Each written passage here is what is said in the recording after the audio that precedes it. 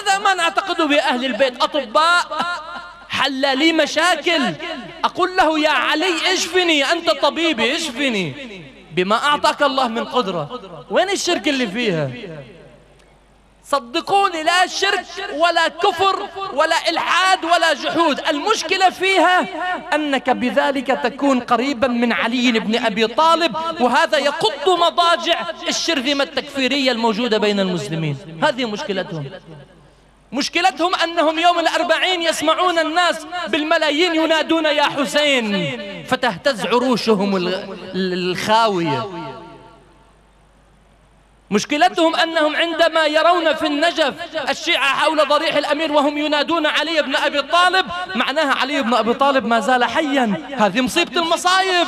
المفترض علي انتهى. لا ما انتهى علي بن أبي طالب.